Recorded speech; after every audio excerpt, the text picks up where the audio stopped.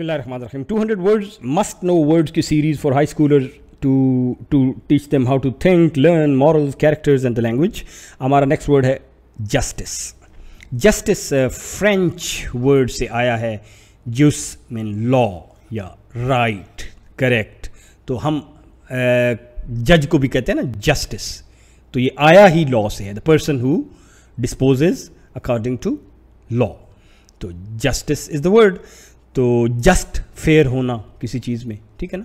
Fair और justice ये ज़िंदगी का बहुत बड़ा असूल है कि we should be fair to people fair to our brother sisters wifes उनको, उनके हकूक देना, ठीक है ना? तो ये सारे वर्ड इससे आते हैं ना जस्टिस कोर्ट पीस ये राइचसनेस अकाउंटेबिलिटी ये सिविल राइट्स ये इस किस्म के सारे वर्ड आपको जस्टिस से जहन में आते हैं। तो आप अपना एक वर्ड वेब बना सकते हैं कि जस्टिस से कनेक्टेड वर्ड आपको कौन से जहन में आते हैं। उसके अपोजिट भी बाजुकात हो सकते हैं। ठीक है ना? जैसे आप इसमें कोई ऐसे वर्ड इसमें तो सारे अभी सिनोनिम्स ही हैं, लेकिन आप सोच सकते हैं कि ऐसे भी वर्ड हो सकते हैं कि जस्टिस है तो दूसरी मुल्क में या सिस्टम में एनर्की भी हो सकती है। ठीक इनजस्टिस भी हो सकता है। ठीक है? जुल्म भी हो सकता है ना? तो जस्टिस के लिए खड़े होना चाहिए और अपने लेवल पे आप, जैसे वो कहते हैं ना, या आप हाथ से रोक सकते हैं या ज़ुबान से रोक सकते हैं या दिल से तो बुरा समझे इन जस्टिस को। तो ये माशरे का बहुत बड़ा एक ऑब्जेक्टिव है टू टू कीप जस्टिस लेकिन ये पर्सनल और फैमिली और स्ट्रीट और इससे आगे चलता है। Unless the lion learns to write every story will glorify the hunter तो ये बहुत ज़रूरी है कि तालीम कितनी ज़रूरी है कि वरना वो होगा यही कि हंटर, चूँकि की आवाज़ है ना तो हंटर की बोल सकता है, अपने आप को एक्सप्रेस कर सकता है। तो जो कौम अपने आप को बोल नहीं सकती, उसमें खड़ा होने की to stand out and speak for themselves की जिसमें कुत नहीं है। Now look at what is happening in Kashmir तो उनके साथ तो किसी ने भी नहीं होना। वो जस्टिस उनका कोई नहीं साथ देता। ठीक है ना? तो ये बात है, सीखनी चाहिए हमें। जो रियासत मुजरमों पर रहम करती है, वहाँ के बेगुनाह लोग बड़ी बेरहमी से मरते हैं। हज़रत उमर फारूक। काइंडनेस काइंडनेस से आपके जहन में क्या आता है?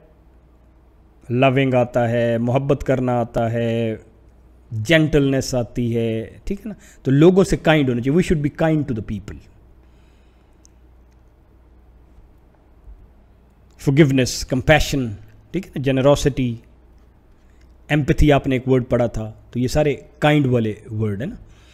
तो उमर बिन अब्दुल अज़ीज़ ने कहा कि he acts without knowledge harms more than benefits तो बड़ी अहम बात है कि इल्म नहीं है तो आप अनइंटेंशनली ऐसे काम कर रहे होते हैं, जिससे जो रहम के ख़िलाफ़ हैं। हम पोल्यूशन मिसाल तौर फैला रहे हैं। ठीक है ना? तो वो हम हार्म ज़्यादा करेंगे देन द बेनिफिट इसलिए क्या ज़रूरी है? नॉलेज सबसे पहले नीचे डेटा होता है। जब डेटा और इस किस्म के फैक्ट्स हमारे पास इकट्ठे हो जाएँ तो उसको हम कहते हैं कि जी, मेरे पास इंफॉर्मेशन हो गई है। ये इंफॉर्मेशन जब ढेर सारी इकट्ठी हो जाए तो उसको नॉलेज कहते हैं।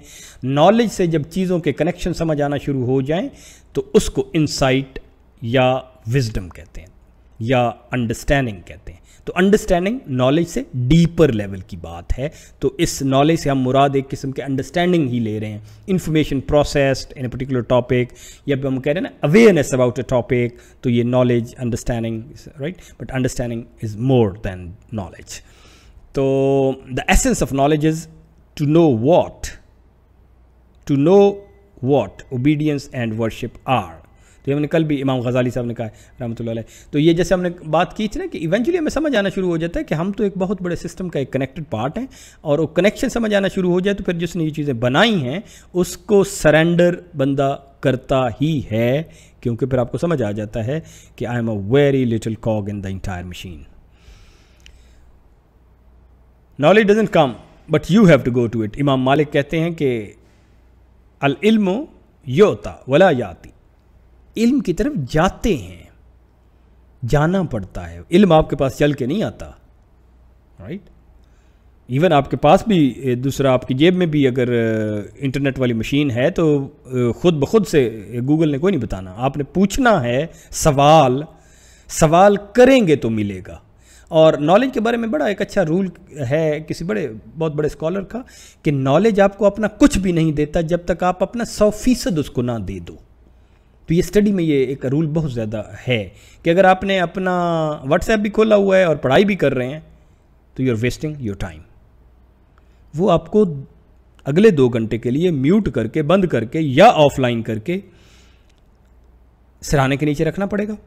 और वो दो घंटे का ब्लॉक आप पढ़ लें और उसके बाद फिर आधा घंटा देख लें कि अम्मी ने क्या कहा है, किसी दोस्त ने क्या कहा है। इसको कहते हैं टाइम ब्लॉकिंग वरना नॉलेज नहीं आता।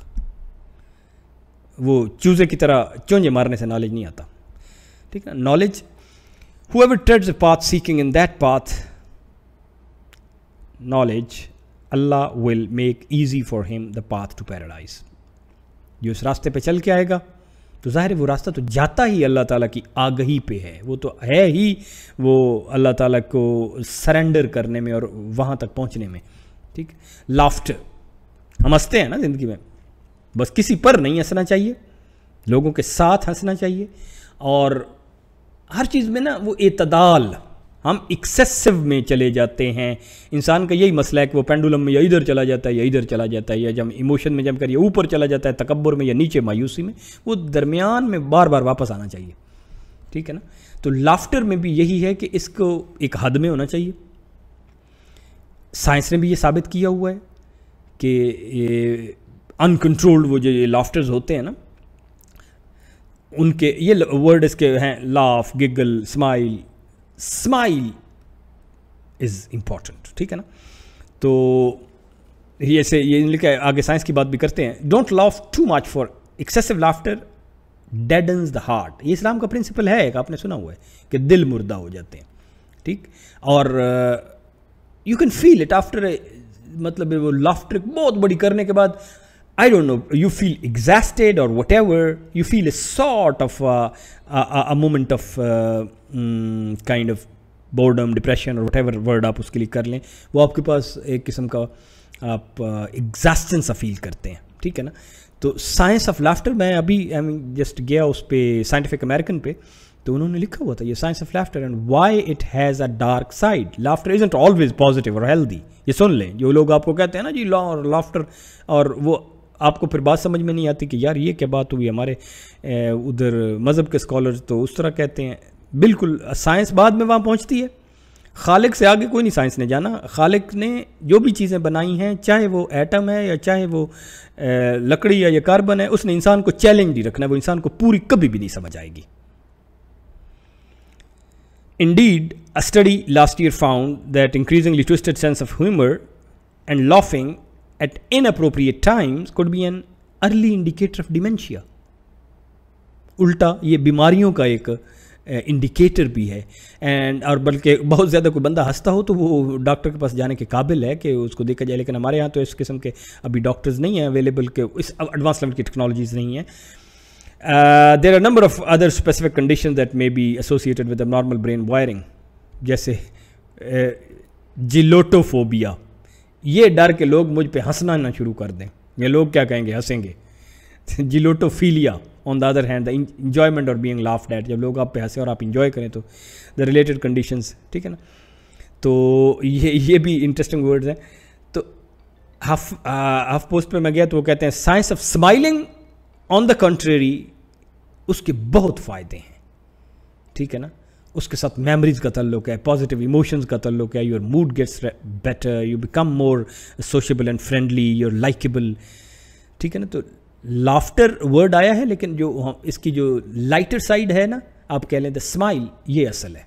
ये इस पे ज़ोर रखें और this is what makes you really beautiful अब जितना मर्ज़ी मेकअप कर लेना तो लगा लें क्लेंजिंग क्रीम्स उससे नहीं फ़र्क पड़ता what what difference a smile can make तो even a smile is charity वो भी फ़ायदा है। बेस्ट ऑफ़ बोथ वर्ड्स चलें फिर आगे चलेंगे इंशाल्लाह।